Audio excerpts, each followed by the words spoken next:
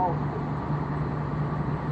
One of the things that I never, ever want to do in ministry